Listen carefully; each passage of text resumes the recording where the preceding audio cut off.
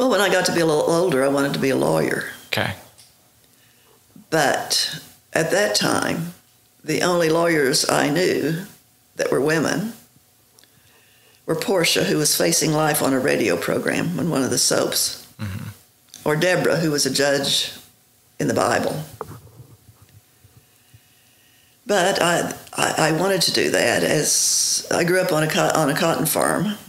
I'm a cotton picking cotton chopper. And as Emil Greaser, who was my representative when I was appointed to the court, said that the cotton patch had done more for education than any other single thing in the state of Oklahoma because you do want to get out of it.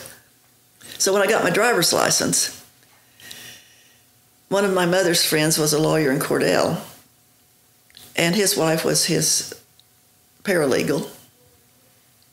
She was his secretary in those days, but now we're paralegals and administrative assistants. Mm-hmm.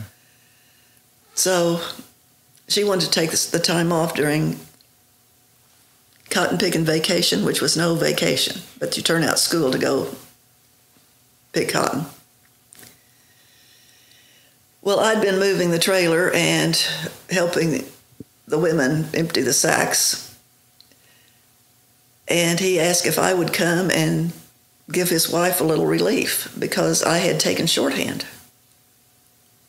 And I said, Oh, yes. So I, dro- I drove to Cordell and worked as a secretary that summer and met the lawyer down the hall who became my career planner. He said, uh, You ought to just be a lawyer.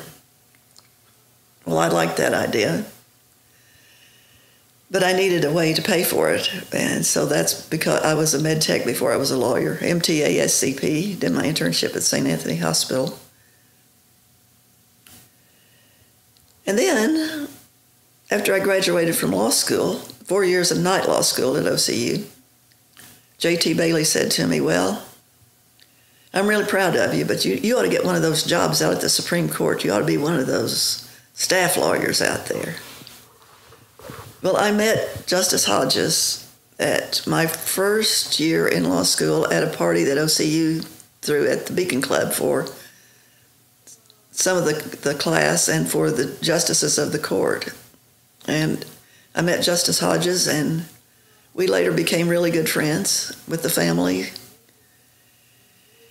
And two and a half years later, he came to ask me if I would like to come and be the first woman staff lawyer at the Supreme Court. So I am the first one.